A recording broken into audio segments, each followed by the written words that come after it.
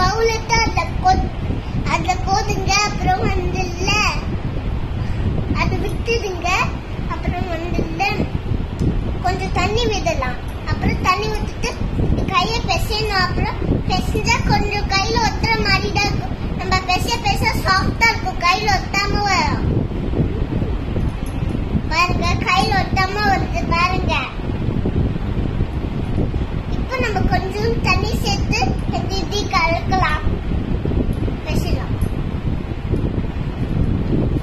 going to